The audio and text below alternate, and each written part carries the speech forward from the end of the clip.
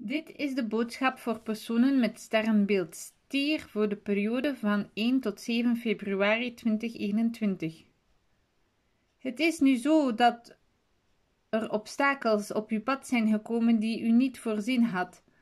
En die geven vertraging naar waar u heen wilt, wat u wilt bereiken in uw leven. Wij willen duiden dat deze obstakels maar een tijdelijke, een tijdelijke blokkage is. Weldra zal deze opgelost worden. U mag er gewoon niet te diep ingaan, niet te veel aandacht aan geven. Het is beter deze obstakels te aanvaarden voor wat ze zijn en daarna afstand te nemen en zien hoe u er het snelste aan voorbij kan gaan. Maar hang er u niet aan vast. Laat ze voor wat ze zijn en blijf verder gaan naar uw doel toe.